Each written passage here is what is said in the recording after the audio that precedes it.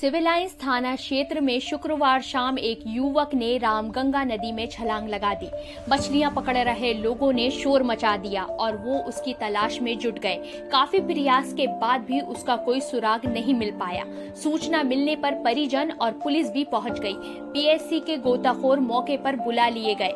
Civil lines थाना क्षेत्र के हरतला निवासी चंद्र किरण उर्फ़ चंदा उम्र 26 साल मजदूरी करता था। तीन साल पहले उसकी शादी प्रीति के साथ हुई। थी। परिवार में पिता बहोहन लाल माँ भूरी दो भाई अजय और शिवम हैं, जबकि पाँच बहनें निधि खुशबू अनन्या ज्योति और प्रिया हैं। परिवार के लोगों ने पुलिस को बताया कि, कि चंद्र किरण उर्फ़ चंदा सुबह करीब आठ बजे खाना खाकर काम पर जाने के लिए घर से निकला था। दोपहर करीब सवा दो बजे दो लोग उसके घर आए और परिजनों को बताया कि चंदा ने रामगंगा नदी में छलांग लगा दी है। इसकी जानकारी से परिवार में कोहराम मच गया। परिजन CL Gupta eye institute Ramganga किनारे पहुँच गए। इसी बीच पुलिस भी मौके पर पहुँच गई। स्थानीय व पीएससी के गोताखोर मौके पर बुला लिए गए। कल शुक्रवार से लेकर आज शनिवार तक पीएससी के गोताखोर लगातार युवक चंदा की तलाश में लगे हुए हैं, लेकिन उन्हें युवक का कोई सुराग नहीं मिल पाया। दूसरी ओर परिजन चंदा की हत्या की आशंका जता रहे हैं। उनका कहना है कि चंदा बिना किसी वजह के नदी में क्यों छलांग लगाएगा। न्यूज़ डेस्क आईएनएन और लाल क्या हुआ आपके बेटे के साथ? हमारे बेटे के साथ सुबह काम पे गया आठ बजे। हमसे कह गया काम पे जा रहे हैं। हमने कि बेटा आज तो आ रहा है काम पे मत जा। कि नहीं पापा दो दो दो घंटे का काम है मैं आ जाऊँगा दो घंटे बाद। मैंने कह दी सही है आ जाइए जल्दी। फिर उसके बाद में एक डेढ़ बज गया इंतज़ार करा हमने नहीं आया। हम नाई की दुकान पर सेब बनवाने गए अपने। तो एक लंग की सेब वो लगा दिया उसने।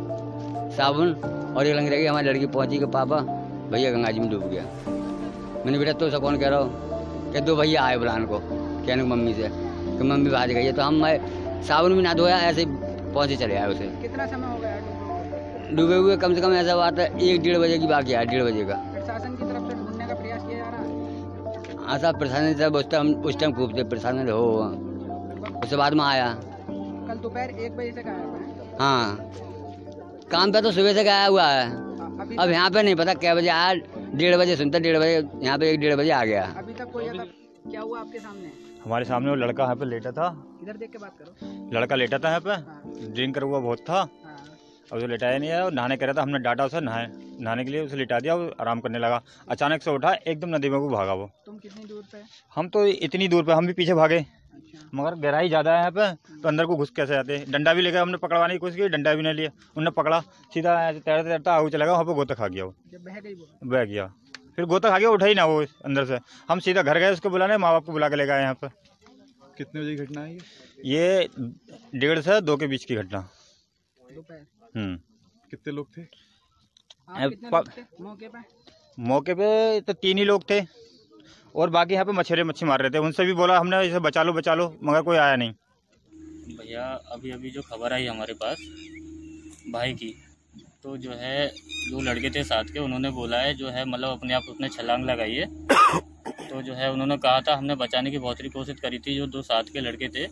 पर अब जो कहानी आई है हमारे पास, चौबीस घंटे बाद, चौबीस से पच्चीस घंटे हो गए तो जो है, किसी ने बताया है कि उसको जो है, मारा गया है। मतलब एक बार तो जो है उसको ढकेला दिया गया, नशे में पहले तो दारू में कुछ मिला के उसको दिया है। फिर उसके बाद जो है उसको अंदर डाला गया है, गंगा जी में ढकेला गया है। उसके बाद उन्हें निकलने की कोशिश करी है तो लोहे से और या सरिये से जो भी है उसके ऊपर बार करा गया है, पैर में और गर्दन पे। तो ये बात जो है हमें किसी ने बताया है घर पे, और उसको बोला गया है, अगर तूने बताया तो जो है तेरे को भी मार दिया जाएगा। तो अभी अभी ये कहानी हमको पता पड़ी है।